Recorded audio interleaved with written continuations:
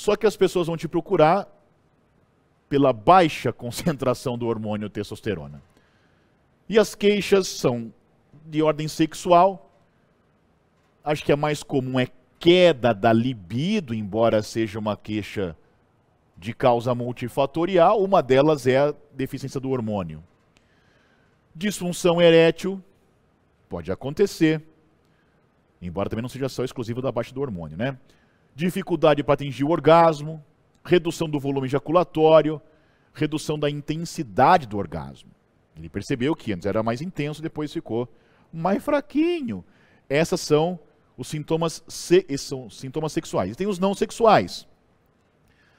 É um pouco subjetivo, mas tem baixa energia e aumento da fadiga, perda da motivação, efeitos da texto uh, baixa no comportamento, né? a pessoa fica mais antissocial, isolada, perda da sensação de bem-estar ou vigor, sensação de estar fora do jogo. A pessoa era participativa, ativa no trabalho, que seja, na, na faculdade, na escola. Não é mais. Então são sintomas, embora sejam subjetivos, que acendem a nossa atenção para uma possível baixa da secreção do hormônio testosterona. E aí você vai atrás de causas e tal. Sinais de perda da força muscular, então, muito típico, comum, né? Acúmulo de gordura, geralmente abdominal. Anemia pode, pode ser causa de baixa de testosterona, uma vez que ela aumenta a eritropoiese. Perda da densidade mineral óssea e ginecomastia. Começa a aromatizar mais, embora tenha menos texto, porque, inclusive porque aromatiza mais. É o típico vozinho, né?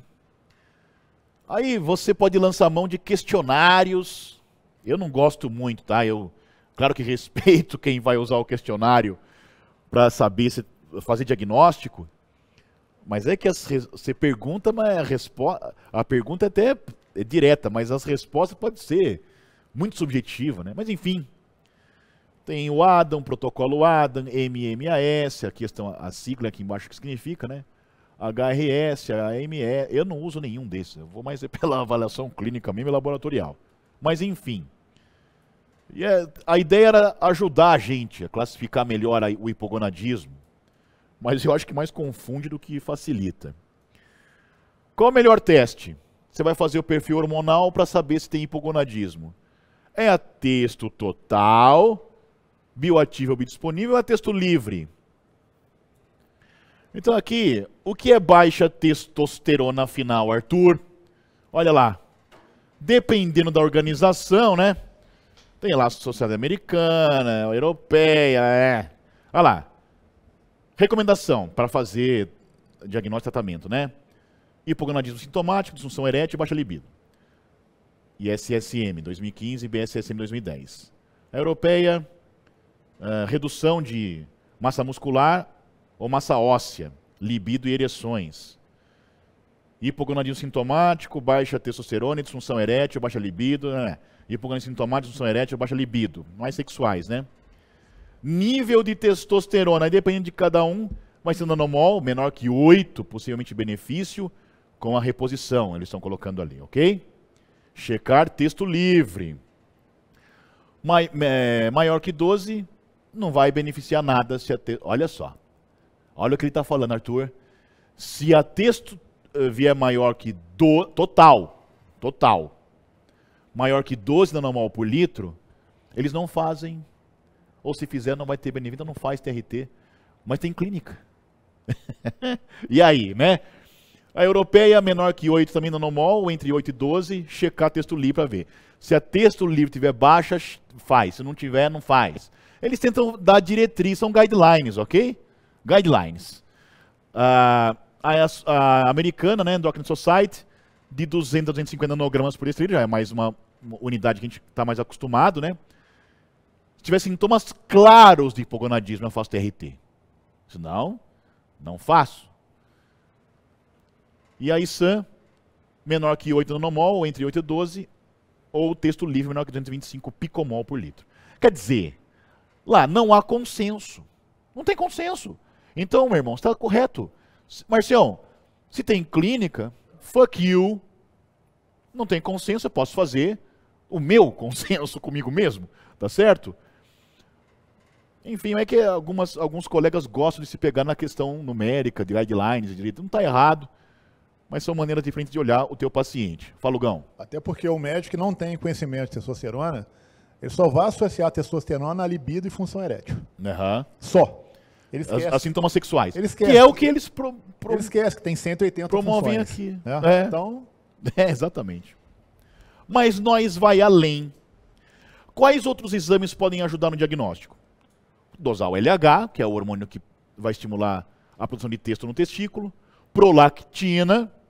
Muita gente deixa de pedir prolactina é importante, a platina aumentada também reduz LH e FSH também, né? Também negativo.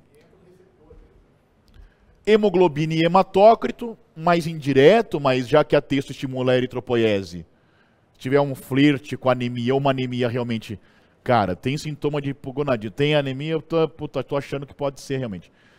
O PSA, embora também não seja lá um, um fiel da balança, mas ajudaria. A tendência é que o PSA diminua de fato com a texto e aumente com a texto mais com, elevada, mas não tem nada a ver com hiperplasia ou, ou câncer de próstata. Ele tem um, uma variação dentro do limite, né?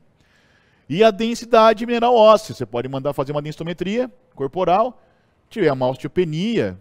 Cara, esse cara está com pouco hormônio já faz algum tempo. São a, exames que ajudam no diagnóstico. E raramente você vai ter que pedir tudo isso aqui para fazer diagnóstico, né? Mas tá na dúvida, você pode lançar mão de tudo isso.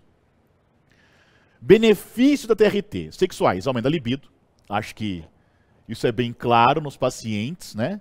Eles relatam isso e é por isso que não deixam de usar. não vai mais parar de usar por causa disso. E redução da disfunção erétil também. Você resolve o problema da, da, da maioria fácil. Não sexual, melhora da composição corporal, claro, legal também, aumento da massa muscular, redução da massa gorda, aumento da densidade óssea e melhora da saúde cardiovascular. Isso é TRT, tá, gente? Não é o que a gente vai pegar no grosso ali, não. É só TRT.